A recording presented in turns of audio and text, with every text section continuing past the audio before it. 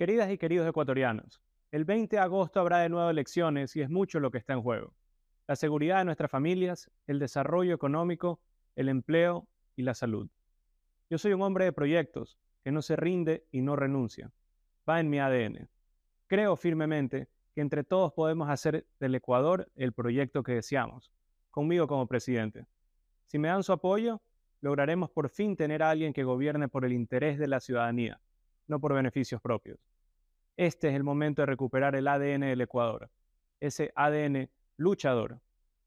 Este es el momento de empezar a crear una gran alianza democrática nacional para darle al Ecuador el rumbo que merece. Cuento con ustedes.